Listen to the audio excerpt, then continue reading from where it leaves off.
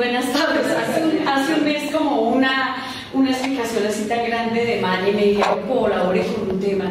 Entonces él, él, habló de todo ese bambuco que había aquí en la región andina y mencionó varios, pero no mencionó el sureño. Y dije, a mí me fascina tanto el bambuco sureño, el que, que también es llamado son sureño nariñense, que dije, no, voy a escoger unas canciones, las voy a cantar, pero en medio de toda la consulta que empecé a hacer, dije, no, pues voy a leer y, hubo muchos, muchos temas bastante interesantes al respecto.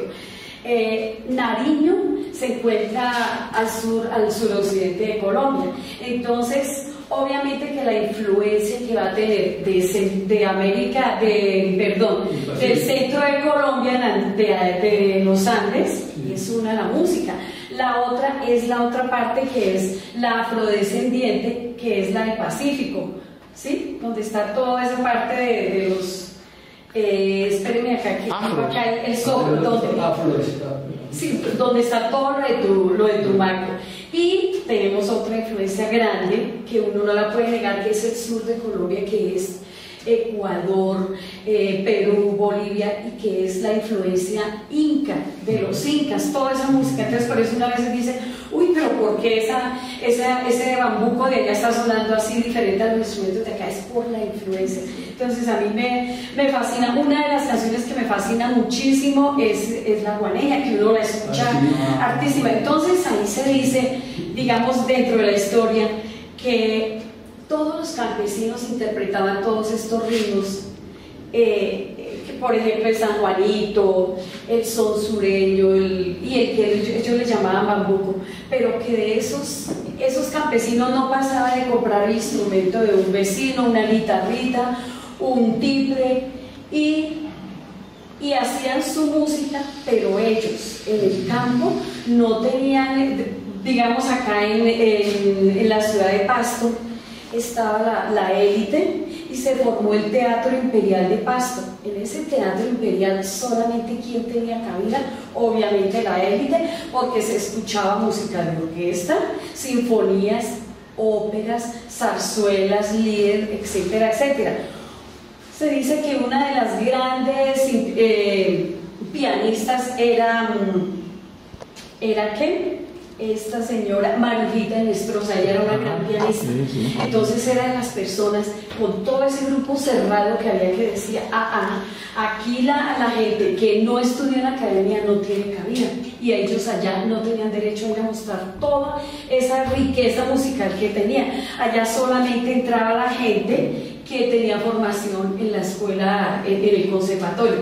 Y ella decía, esos son los que se formaron, digamos, con el ¿Cómo es que le llamamos cuando la persona no tiene formación? Autodidacta. Los autodidactas tienen otro nombre también. Eh, los empíricos los llamaba orejones.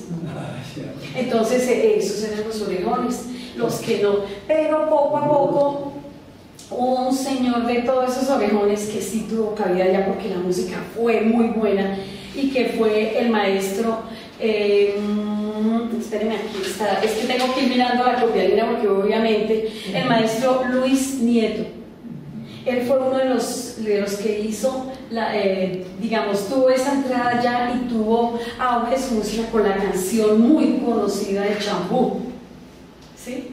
Entonces, primero les, les hablaré acá de, de esa canción que les dije que es para ellos es el tronco de la música nariñese que es la guaneña. Uno la encuentra en la cantidad de versiones que quiera, ¿no? Proviene de, la de los que no señor, eso era de, la, de las batallas, de la guerra que hubo. Sí, para los soldados era un impulso, un...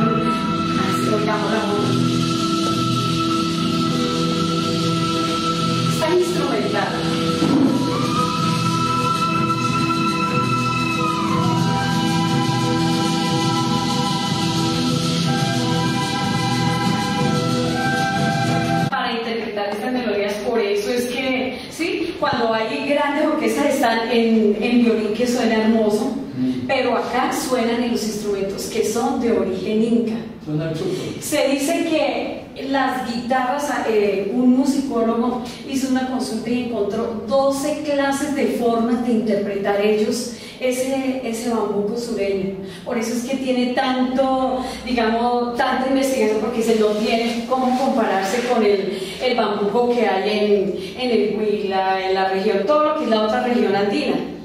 Y tanto que algunos campesinos, como les importara surruguear y, y, hacer música, lo confundían con el pasillo ecuatoriano, le, le hacían sones del pasillo ecuatoriano. Ese chambú, la inspiración fue una novela que hizo el maestro Guillermo Edmundo Chávez. Y, mire que la novela me puse a mirar, eso también lo hizo eh, la hermana de Yamid, Yamid de, ¿cómo se llamaba ella? Eh, de Yamid de... Esa, esa actriz, y existe todavía parte de esa, de esa no, no, no, no novela, sino cine. Esa canción fue inspirada en esa novela y es, el tema es el amor en medio de una hermosa tierra. Es una canción hermosísima, considerada entre las 100 mejores canciones de, de Colombia.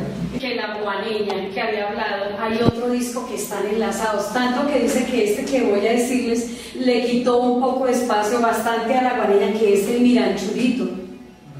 El Miranchurito es una canción también que salió no, no hay compositor, pero se dice, es un son puro son sureño. Se dice que esos pájaros de alas negras que revoloteaban en círculos por todas las plantaciones de maíz. Eh, y también ese tema del miganchurito se usa pero muchísimo para todos los temas de los carnavales. O sea, es una canción así, a la par con el con la guaneña. Voy a colocarles el minachurito del, del bambuco sureño en otros países, en, dentro de Colombia, le estoy remitiendo a otros países. Ellos se fueron a grabar por primera vez con Sonolux, viajaron en una camioneta, viajaron de, de Nariño hasta, hasta Medellín a grabar, porque los dejaron allá grabar y fuera de eso dieron un concierto y fueron los que fue donde se empezó, ese, imagínense ese grupo se formó en 1947 y ellos fueron a grabar en 1967 completamente eran pues gente muy, muy humilde pero les dieron esa oportunidad y se fueron. Y ellos cuentan eran cuatro que los llevaron a un hotel, allá grabaron y que dos de ellos dijeron no vamos a conocer vamos a conocer que en Medellín y que ellos los otros dos se daban cuenta desde la ventana caminaban acá, caminaban allá, se rascaban la cabeza porque se habían perdido, pero les dejaron un rato que se asustaran y, y bajaron a, a rescatarlos. Dentro, dentro de esas anécdotas dicen que ellos estaban viajando entre Popayán, por la vía antes de llegar a Popayán, entre Cali y Popayán, y también los paró la policía porque ellos llevaban un violón decía, era uno de los instrumentos de ellos y que era grande, iba cubierto y la policía los paró, ¿ustedes para dónde llevan ese muerto? Los pararon, les pegaron un susto y después dijo que somos músicos, les tocó parar, bajarse, interpretarle unas melodías para que no lo fregaran más. O sea, ese fue el, el negocio que hicieron.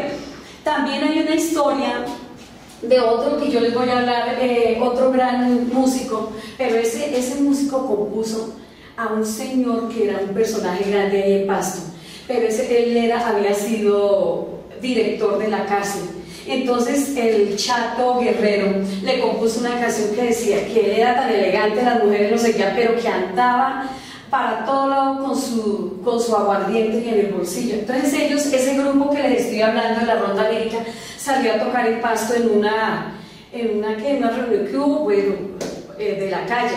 Y se acerca a este señor y llamó a dos y los agarró y les dijo, uno de ustedes, dijo, ustedes dos, los voy a denunciar y a la cárcel van por estar cantando esas canciones en contra mía.